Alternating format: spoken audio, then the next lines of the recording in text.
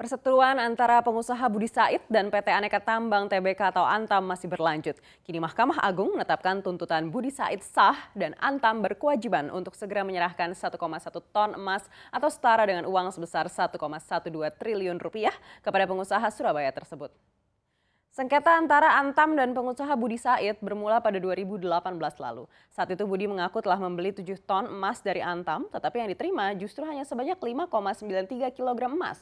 Merasa dirugikan, Budi memilih menggugat sejumlah pihak yang terkait dengan penawaran emas kepada dirinya. Budi sempat menang di Pengadilan Negeri Surabaya, namun Budi justru kalah di tingkat banding sampai akhirnya pengusaha properti ini mengajukan kasasi ke Mahkamah Agung. Kini dengan kasasi diterima, Budi menjadi berhak untuk meminta Antam segera mengganti rugi kepadanya.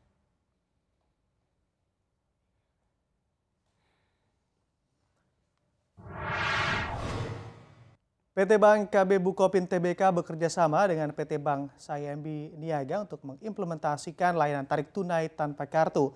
Dengan kerjasama ini, nasabah KB Bukopin dapat memanfaatkan layanan tarik tunai tanpa kartu di ATM Sayembi Niaga. Eksekutif Vice President Digital Division Head Bank KB Bukopin, Charles Budiman mengatakan KB Bukopin menargetkan transaksi tarik tunai tanpa kartu setelah kerjasama ini dapat meningkat hingga 20% dari angka rata-rata transaksi perbankan tanpa kartu yang saat ini berjumlah 5.000 transaksi per bulan. Charles juga menuturkan untuk penggunaan kartu debit tidak akan hilang sama sekali. Kerjasama ini ke depannya akan dicoba bersama bank lain atau di bank luar sektor bank untuk mengembangkan layanannya.